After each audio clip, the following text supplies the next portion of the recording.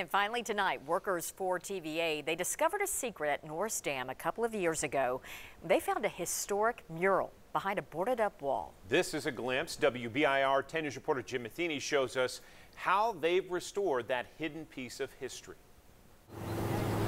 Norris Dam changed the landscape of East Tennessee in the 1930s forever.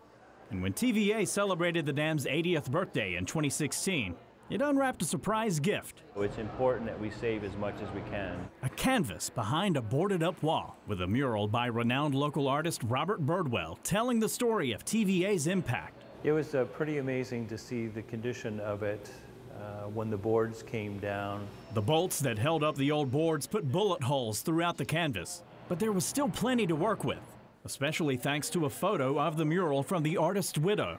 It's unbelievable never to imagine they could uh, restore it like they have. While the painting is massive, its beauty is in its minute details. Robert Birdwell's technique here, something like the flag has every single stripe in it, and it's about a centimeter big. But if you ask me what my very favorite thing is, there's a farmer you can see here, and you see the tractor, there's some little bitty cows, and that is my favorite thing on the mural. Just the story that it tells. I like these trees here, this forest. The colors are so typical of that period of time. He would absolutely be thrilled.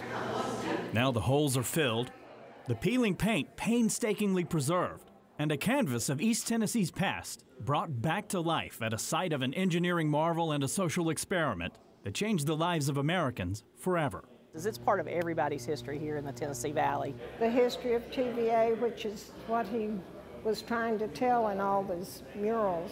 I think it's important that we uh, can maintain these things. At Norris Dam, Jim Matheny, WBIR 10 News.